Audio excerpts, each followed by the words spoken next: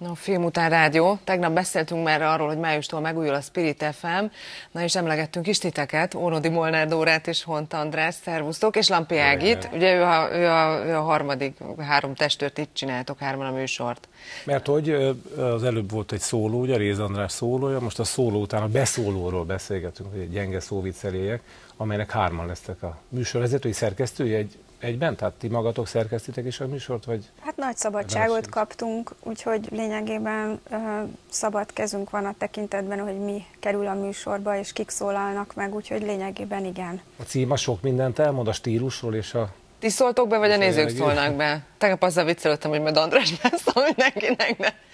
Itt hadd térjek egy mondat erejéig vissza, amit a Dóra mondott, mert ezt nagyon fontosnak tartom elmondani, és aztán mindenkiért belőle amennyit ért.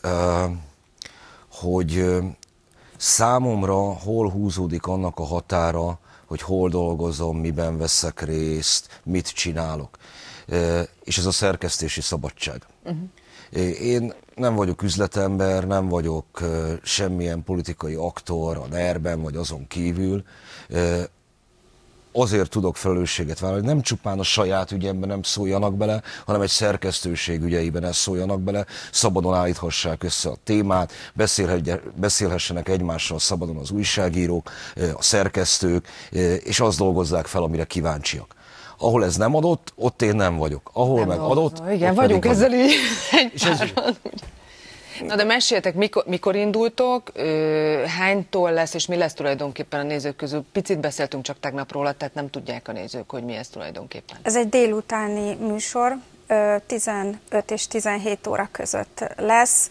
A struktúrája úgy néz ki, hogy a műsorvezetőkkel beül egy vendég, akit a műsorvezető kiválaszt, aki végig ott van vele a stúdióban két órán keresztül. Ez mindig Mi, aktuális, friss? Mindig aktuális témához téma. kötődik, illetve hát ha nem is friss, de aktuális. Például az oktatás, ami nekem az egyik fő területem, az biztos nagyon sokat lesz ebben a műsorban, a szociális, illetve emberi jogi kérdésekkel összefüggő témák is, azok hozzám kötődnek, úgyhogy én biztos ezt a vonalat fogom képviselni a, a műsorban is, és akkor abban a két órában a vendégemmel együtt még behívunk telefonon keresztül szakértőket, politikusokat, attól függ, hogy az adás mit kíván meg, és közben a hallgatók is betelefonálnak, tehát egy ilyen interaktív történet lesz.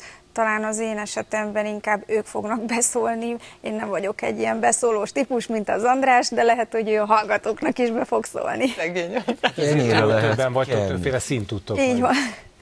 Én azt azért nem ígérem meg, amit a Dóra, hogy feltétlenül aktuális, vagy a frissesség szerkeszti a műsort. Az, ami engem érdekel, aztán mindenki megelégszik vele, eh, ami remélhetőleg azért egybevág sokak, sokak érdeklődésével is még mennyire ez egy... lesz már, mennyire tartotok ettől? Azért nem, ne, rá, rádiózni nem rádióztak. Te tartasz, bólogatad óra. Nagyon.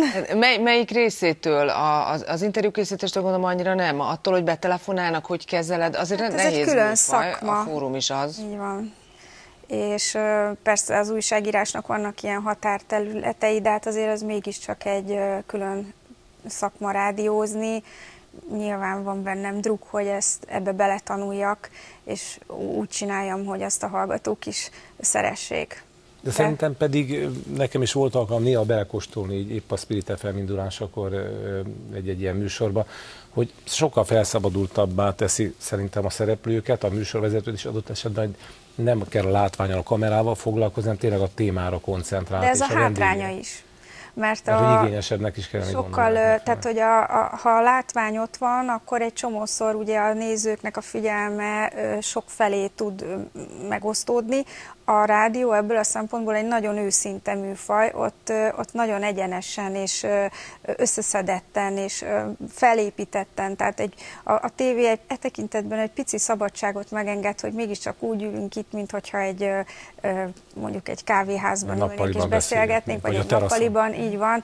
Ott azért én, én úgy érzem, tehát még nem Én pont fordítva, de nem. Ez az biztos, hogy egyébként eljátszani nem lehet, hogy az ember más legyen, mint ami saját maga. Persze. Az, hogy nagy magyar rádiós, vagy akár nemzetközi rádiós ikonoknak a nyomába lépjen, ez nincsen sem Dóra, sem én nem is leszünk azok, saját magunkat tudjuk adni, bizonyos, nyilvánvalóan vannak bizonyos minimális követelmények, meg kell felelni. Én tulajdonképpen szívem szerint nagyon-nagyon-nagyon régen a sok betelefonálós műsorra helyett megcsináltam volna már Magyarország első kitelefonálós műsorát, amikor is a stúdióból teljesen véletlenül szerű embereket hívunk fel, csak az a gond, hogy ez így élő adásban némi személyiségi jogi aggályokat vet fel, tehát ezen, ezen a terven meg És még számtalan számíthatunk. Az majd a kibeszélő lesz. Ah, igen. hogy Legfontosabb, tehát Spirit FM a jövőtől megújulva 92-9-en, csak hogy tudják a kedves nézők is, hogy hol hallgassák, hol keressék a beszólót is. Köszönjük, hogy itt voltatok. Sziasztok! Köszönjük sziasztok. szépen, sziasztok!